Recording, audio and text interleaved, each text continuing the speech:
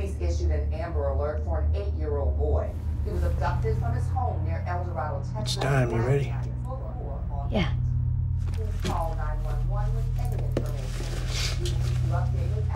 Please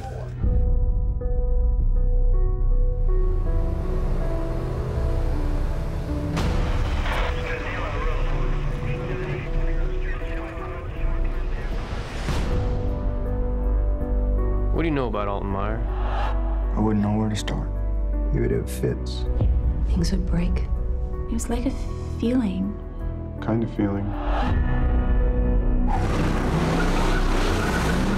We need to know where he is. You all have no clue what you're dealing with, do you?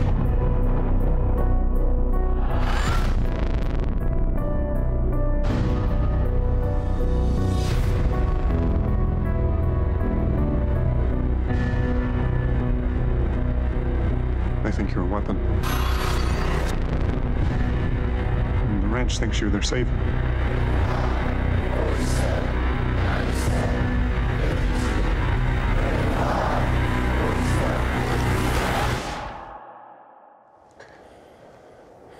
Dad. It's okay.